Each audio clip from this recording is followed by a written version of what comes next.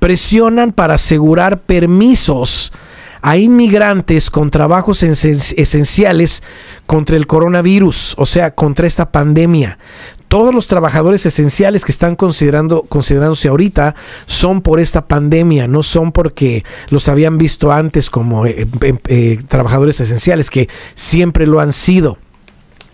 Pero aquí los demócratas principalmente están diciendo, ¿dónde estaríamos en esta pandemia sin ellos? El gobierno lo está diciendo. ¿Dónde estaríamos en esta pandemia sin los trabajadores esenciales?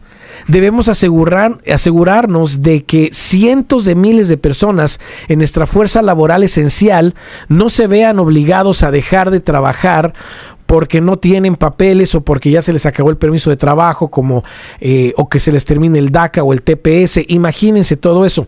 Una decisión desfavorable significa, dicen ahora los trabajadores esenciales, una decisión desfavorable significa sacarme a mí y a otros como yo de las, de las primeras líneas. Ese comportamiento imprudente pone en peligro la vida de las personas, especialmente ahora durante esta pandemia, advirtió, debido a que pronto podrían perder sus autorizaciones de empleo eh, tras las decisiones del gobierno del presidente Trump y esos son como los DACA o los TPS, pero también hay trabajadores esenciales. Y aquí viene la pregunta que me habían hecho hace ratito, creo que había, sido Cari, Cari Álvarez que me dijo que si los DACAs pueden considerarse, eh, oh, eh, dice que se pueden agarrar desempleo, pero ok, aquí voy a hablar ahorita de eso, pero primero, los DACAs, los TPS y personas sin documentos están trabajando y los están considerando como empleados esenciales para el país.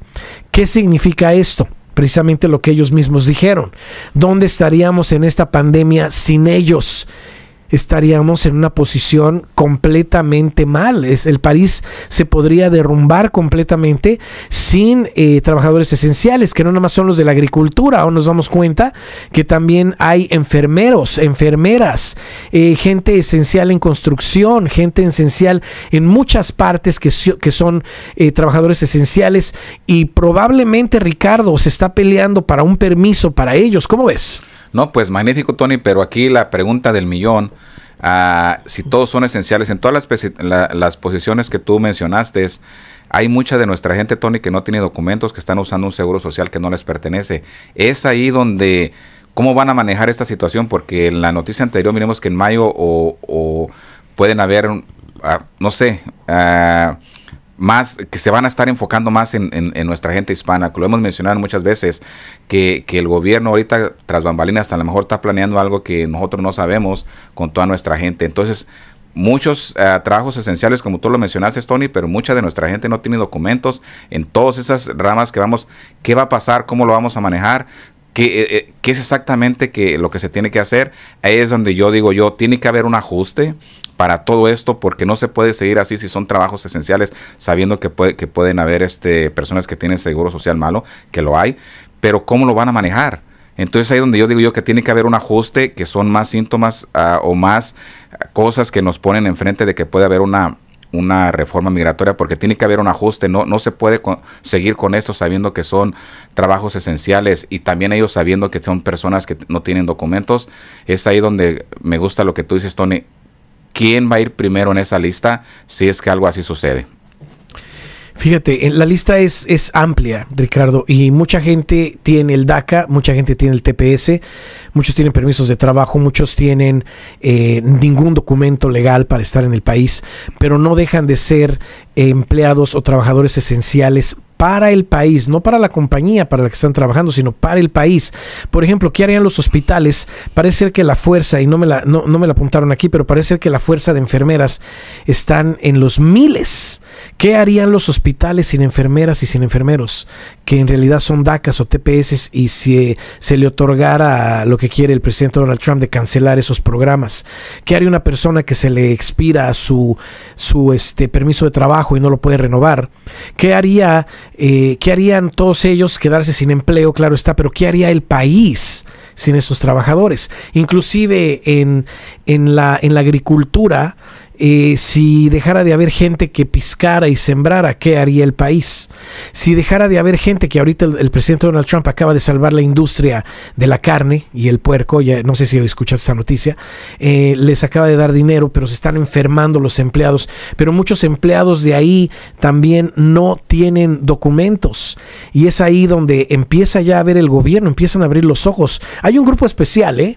que se está encargando de una reforma migratoria, por si ustedes no lo saben, eh, es un grupo grupo que, que, maneja la reforma migratoria y ellos están mirando todo lo que está pasando y claro está, se lo comunican al presidente y a todo el gabinete y todo, todo el gobierno para que todos estén enterados de qué es y cómo se podría derrumbar el país en ciertas cosas. Imagínense qué débil se haría el país sin fuerza médica, los doctores no podrían hacerlo todos ellos solos, sin fuerza laboral en los campos, nada pasaría y nadie va a ir a sembrar ni a hacer nada de esto. Inclusive el presidente dice que quiere proteger estos trabajos para los estadounidenses, pero ya se están dando cuenta que no, que los que están haciendo ese trabajo son los que tienen que seguir haciendo ese trabajo. ¿Y a qué me lleva esto?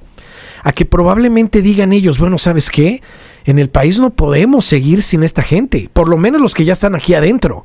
No podemos seguir adelante sin ellos. Vamos dándoles papeles, porque si los perdemos, entonces, ¿qué vamos a hacer? Eh, Gloria Guzmán, ¿cómo estás? Dice Gloria, Tony, hice mis taxes del marzo 18 y es hora que todavía no me han llegado, eh, ¿por qué será? La ayuda. Ahorita vamos a poner eh, una, o, le voy a pedir a producción que me pase un website en el cual se pueden meter y revisar cuándo les va a llegar su cheque. ¿Qué les parece? Una cosa cuando ustedes eh, la piensen bien y digan ustedes, soy trabajador esencial, lo más probable es que la mayoría de nuestra comunidad indocumentada, nuestros DACAs, nuestros TPS y la gente con permiso de trabajo con otros, eh, con otros alivios migratorios que están esperando, son son trabajadores esenciales. O sea, nadie más haría eso.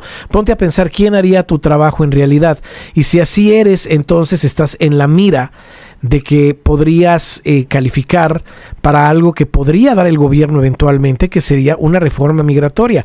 Pero al mismo tiempo, aunque seamos trabajadores esenciales, tenemos que, que demostrar buena aptitud moral, porque si no tenemos buena aptitud moral, eso nos puede causar grandes estragos y no nos van a calificar. Y también tenemos que hacer otras cosas que ahorita les voy a dar los pasos que se tienen que seguir de inmediato para que todos se pongan las pilas a hacerlos de ya. Porque es lo que tenemos que hacer, Ricardo. Es ahí donde yo te decía, Tony, cuáles son las personas que van a ir enfrente de todo eso. Pues las personas, precisamente lo que tú estás mencionando ahorita, que tengan esa buena conducta moral. Y la buena conducta moral es que eh, Ah, para que nuestra gente entienda es que todos hemos cometido errores, pero buscamos la manera de, arreglarlos o de buscar la solución para que ellos miren, ok, cometiste un error, pero lo estás arreglando, lo solucionaste.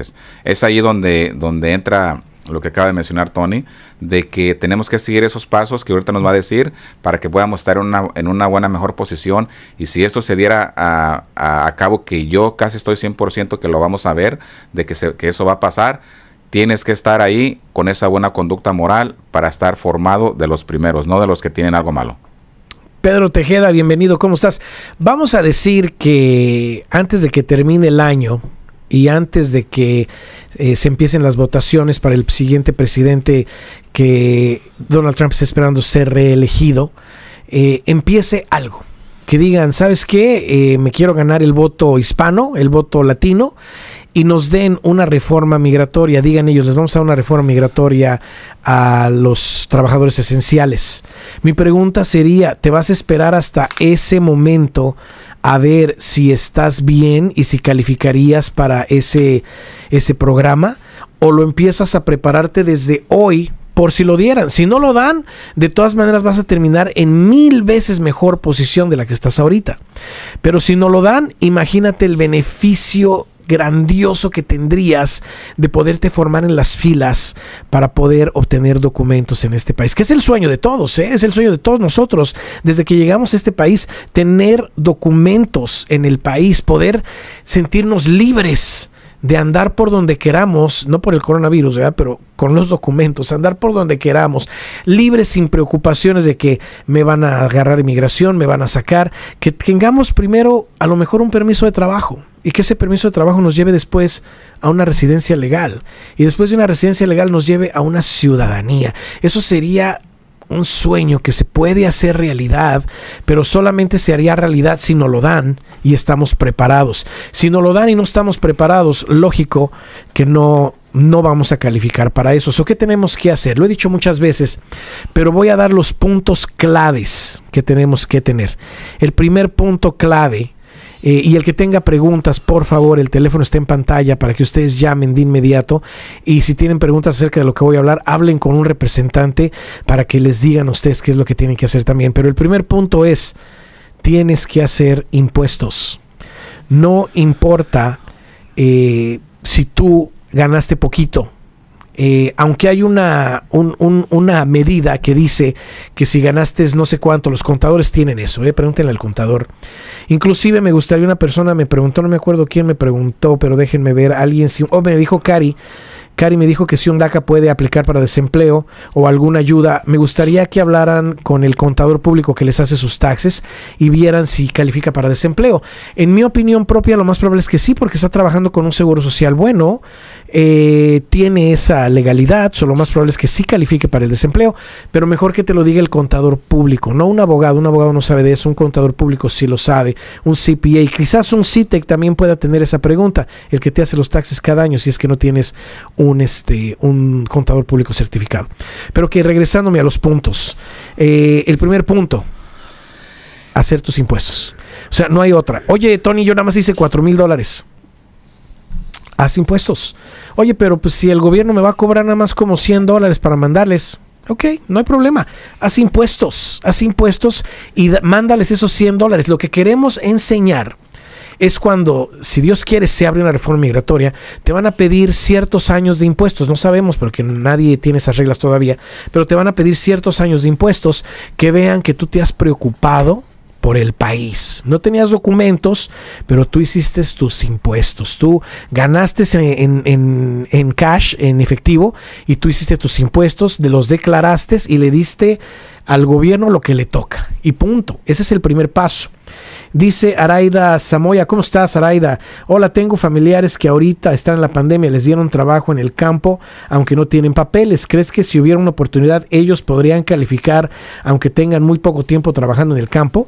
Lo más probable es que si son trabajadores esenciales y tienen poco tiempo trabajando en el campo y no hay quien más cubra su posición, lo más probable es que sí, pero acordémonos que también hay ciertas reglas que dijo ICE que, y el gobierno que una persona que tenga aquí menos de dos años es deportable, ¿verdad? Eso hay que ver qué tanto tiempo tienen aquí, Iraida, y cómo los podrían proteger. Claro está que si se abriera algo así, de inmediato agarrar un abogado de, en emigración de que me los ayude y que diga, ¿sabes qué? Yo los voy a ayudar y los voy a llevar al final de todo esto y vamos a triunfar y van a agarrar los papeles, o que les diga, ¿sabes qué? No hay nada para ti. Pero lo esencial sería que ellos también, aunque tengan poco tiempo, tienen que hacer los puntos que estoy mencionando en este momento. ¿eh? No son, nadie está fuera que no tenga documentos, nadie está fuera de hacer lo que te estoy diciendo. Así tengan menos de un año aquí, lo tienen que hacer porque se tienen que prevenir. Inclusive los que tienen ya más de 20 años lo tienen que hacer si no tienen documentos, porque se tienen que prevenir. Jessica Marrufo, ¿cómo estás? Bienvenida. Ya lo dije, el primer paso, tus impuestos, al 100%. Gane lo que ganes, tienes que reportar. El segundo paso, ellos lo van a hacer por ti, pero tú no quieres que ellos lo hagan por ti, porque si ellos lo hacen por ti, ellos se van a enterar que tienes tú en contra antes de que tú lo sepas. Mejor hazlo tú antes y es la revisión de tus antecedentes penales. ¿Quién ya lo revisó? Díganme ustedes, ¿quién ya lo revisó? Hay veces que dicen que por miedo no los quieren revisar que por miedo, eh, no porque yo no soy criminal. Acuérdense lo que les acabo de decir, no es que sean criminales, es que los tenemos que revisar para ver que están limpios. Es como tu reporte de crédito. Tú lo revisas para ver qué puntaje tienes. Igual acá, lo revisas para ver qué puntaje tienes. O sea, tienes felonías, misdemeanors o estás limpio o limpia. Es lo que tienes que ver. Está el del FBI, el, de, el del Departamento de Justicia y el migratorio todos muy importantes. Allí en Ayudando a la Comunidad te dan récords completos. Vienen, cuando pides el del Departamento de Justicia, vamos a decir, es todo un paquete que vienen varias cosas. Vienen antecedentes penales, eh, nacionales, viene un montón de cosas, cortes, policía, Highway Patrol. Todo eso viene junto para que tú lo tengas y sepas tú quién eres en este país. No nada más es para tu abogado, por si nos dieran primero Dios una reforma migratoria. Imagínense qué, qué a todo dar sería eso. Pero es para que tú también veas cómo te está viendo el país, qué tienes en contra. O sea, muy bonito es no saber nada y de repente te cae, no supiste ni por qué y adiós. Mejor aquí ya sabes qué tienes y cómo, cómo lo puedes arreglar, porque hay avenidas, te sale algo, vas con un abogado. El migratorio es solamente para gente que tuvo algún contacto con inmigración, queriendo decir a lo mejor meter una petición, a lo mejor aplicaron para una visa U, a lo mejor aplicaron para cualquier alivio migratorio o lo más probable es que tengan deportaciones. No te fíes en decir, a mí me deportaron de la frontera, nada más me agarraron y me dejaron ir. No. ¿Hace cuántos años fue? ¿Te acuerdas exactamente de lo que pasó? Hay veces que por los nervios tu cerebro borra todo lo que pasó, pero hasta huellas te sacaron, hasta foto tienen tuya. Entonces hay que ver qué aparece. No aparece nada, una vez más, no aparece nada. qué alivio aparecen cosas, entonces ahí sí ya hay que ver un abogado para ver qué te dice, tiene solución o no tiene solución. Vas ya adelantando las cosas, ¿me entiendes? El, el, tercer paso, tercer paso es despegarte de un seguro social falso y obtener el número que dé el gobierno para que puedas seguir ejerciendo un trabajo ya sin la necesidad de utilizar un seguro social que no te corresponde. Eso no lo tenemos que meter en mente. Hay millones y millones de personas indocumentadas que siguen utilizando un seguro social falso y siguen confiadas en que no va a pasar nada, Ricardo. Sí, Tony. Ah, los tres puntos que tú estás dando, créeme que son de los más importantes que tenemos que llevar a cabo. Si, te voy a decir por qué. Porque mucha de nuestra gente en cuestión, como por ejemplo el récord criminal, ni siquiera saben que tiene algo, los para un policía y dicen, ah, pues al cabo no tengo nada, nunca he tenido, no, tengo un ticket, y de repente lo arrestan ¿Por qué? Porque se llama igual que otra persona que estaban buscando. Hasta que ya no lo llevan al, a la cárcel, le toman sus huellas, le dicen, ah, no eres tú, lo dejan salir, pero si no tiene documento lo pueden mandar a migración. Ah, los, los seguros sociales lo mismo con todo lo que está pasando ahorita ah, con, con lo de la pandemia. ¿Cuántas personas no tienen los mismos seguros sociales? Puede aparecer el dueño. Entonces, Uh, esos tres puntos, si nosotros los llevamos a cabo de una manera bien en cuestión de revisarlos, prevenir uh, si es que tenemos algo malo para que no nos vaya no nos vayamos a meter en un problema uh, como lo que le ha pasado a esas personas por lo que estamos diciendo ahorita de que no sabían que tenían algún crimen y los paró la policía por alguna razón entonces Ah, hay que hacer lo que Tony nos está recomendando ahorita, esos tres puntos, porque esos tres puntos nos van a poner una mejor posición a todos y a nuestra familia que, que depende de nosotros también. Eso nos va a poner una mejor posición en caso de que haya una reforma migratoria. Eso nos va a poner una mejor, una mejor posición en cuestión de caminar tranquilos por la calle, de que si si no tenemos, eh, eh, no hemos hecho nada nos para la policía, sabemos que no tenemos algo detrás de nosotros sin que nosotros nos demos cuenta. Entonces, son puntos muy esenciales, Tony, que me gustaría que nuestra gente tomara acción, llamara ayudando a la comunidad para que agarre más información. No cuesta nada nomás con agarrar más información. Si tú tienes una inquietud en el pasado de que tú tuviste algún, alguna violación de lo que sea, mínima que sea, pero tienes esa inquietud, llama llama y no te quedes con la duda. Y aunque no tengas nada también para que no no no este vayas a estar en una en una situación como lo que estamos mencionando ahorita de que puedas tener algo que no que no te pertenece. Entonces sí me gustaría Tony de que nuestra gente tomar acción y llamar ayudando a la comunidad para ganar más información y ver en qué situación están ahorita en este país. Perfecto. Chelita, Chelita, ¿cómo estás? Bendiciones también para ti. Juan Fuentes, Tao, eh, Tao Vera, Elisa López, ¿cómo están? José Te, Tejuatle, ¿cómo estás? Ya te, ya te extrañamos por acá. Donita Hernández, Donita, ¿cómo estás? Ok, aquí hay algo. Dice Juan Fuentes, ¿cuánto cuesta por tramitar el seguro? No es un seguro, no es un seguro social. Es un número que dé el gobierno, que toda persona sin documentos lo tiene que tener. Pero ahora, Juan, una cosa muy importante, súper importante. No es el número nada más, ¿ok? Mucha gente me ha hablado y me dice, me ha mandado mensajes. Yo nada más quiero el número, yo no quiero nada más más que el número. No. Si nada más quieren el número, lo más probable es que no los podamos ayudar porque los vamos a dejar en una posición todavía muy delicada. Es despegarse de una identidad que no les corresponde, que es el seguro social falso, que han hecho crédito, que han trabajado con él, que, han, que tienen beneficios como médicos, dentales, visuales, un foro 1K y mil cosas más. Hay que despegar a una persona totalmente de esa identidad, al mismo tiempo se les procesa el número. Esas cosas se hacen en conjunto. Por favor, Juan, no cometa nadie el error de hacer nada más el número o ir a una compañía nada más agarrar el número y quedar a medias. Y les voy a decir por qué porque van a estar a gusto con el número, van a poder seguir ejerciendo una profesión, un trabajo y de repente lo mismo pueden llegar por ustedes porque la identidad que estaban usando está comprometiendo quizás a una persona que sí es el dueño de ese seguro social. O si se abre una reforma migratoria, lo mismo. Sigues cargando con todo lo que tienes en ese seguro social falso. Hagamos las cosas bien, por favor. Tony Teo Vera dice, Tony, ¿tienes información de cuándo abrieron la industria restaurantera? Eh, en California dijeron que en la fase número 2, que es después del, del 18 de mayo, el 15 dijeron, pero lo más probable es que en el 18, y se va a abrir con restricciones. Parece ser que lo van a abrir con 50% de mesas nada más, distanciación social. Los meseros, nuestros meseros van a tener que ocupar eh, tapaboca, los cocineros también, bueno, todos, eh, menos el cuate que llegue a comer, ¿verdad? Porque si no, no va a poder comer, no se crean. Pero todos van a tener que llegar con tapabocas, eso sí, va a haber toma de temperatura y todo eso, pero primeramente Dios para que esté controlada todo para el 18 de mayo. Elisa López, califico, tengo 20, 25 años, calificaría, tengo 25 años aquí en un restaurante, tengo hijos ciudadana más soltera, tengo récord limpio. Elisa López, me gusta que me dices que, que tienes récord limpio, pero me gustaría saber en qué forma tienes un récord limpio, cómo lo revisaste. Hay dos formas de revisarlo, hay tres formas de revisarlo donde tú vas a la corte o a la policía y pides el récord tuyo, el gratuito, ese no te cuesta nada o te cuesta 5 dólares, eh, te lo dan, pero ese solamente cubre esa corte, lo que cubre la, la, corte en la ciudad, o la policía lo que cubre en la ciudad y nada más, es un récord simple.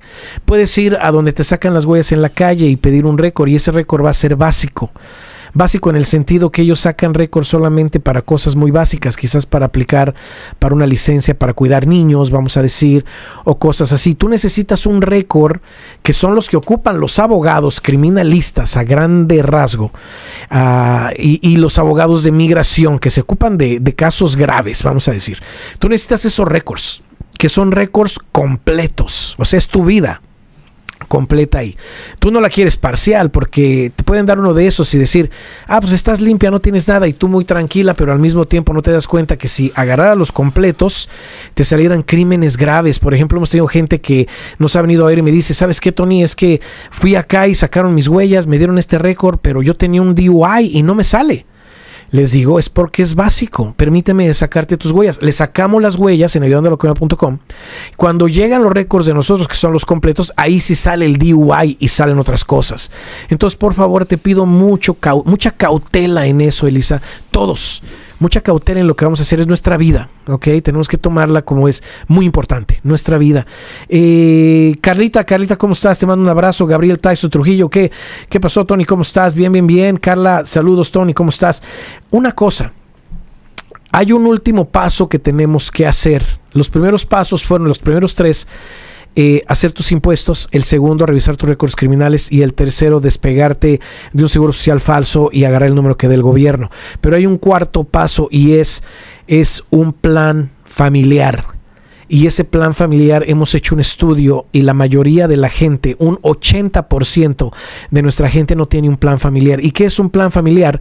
Un plan familiar es prepararnos para lo que podría pasar. ¿Tú estás preparado por si ni Dios lo mande, te llegan a deportar? ¿Qué sería de tus hijos, de tu esposa o de tus bienes en este país? ¿Tú has puestote a pensar qué pasaría si te encierran una temporada en la cárcel? Eh, ¿Qué pasa con lo mismo con tus hijos, con tu esposa, con tus bienes? ¿Qué si tienes casa? ¿Qué si tienes cuenta de banco, carro? Todo lo que tú tienes. ¿Te has puesto a pensar qué hacer? Necesitas un plan familiar. En el plan familiar vienen formas de quién se puede quedar con los niños si es que te llegaran a deportar a ti y a tu mujer y que los niños no se queden en manos del gobierno, porque el gobierno, claro está, se queda con tus hijos, nadie los reclama, los van a poner en adopción, porque es lógico y los vas a perder. Entonces tienes que hacer estas cosas. Por favor, un plan familiar. ¿No sabes dónde conseguir un plan familiar? Llama ayudando a la comunidad.com. Ahí te van a orientar para todo esto. Se nos termina el tiempo. Se nos termina el tiempo y, me gustaría que nos pusieran los dos en la pantalla. Ricardo, eh, que esté en otra parte del estudio.